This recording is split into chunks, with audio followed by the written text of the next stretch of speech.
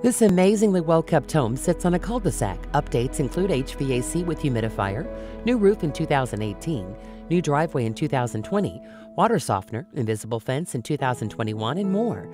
There's a possible fourth bedroom in the basement.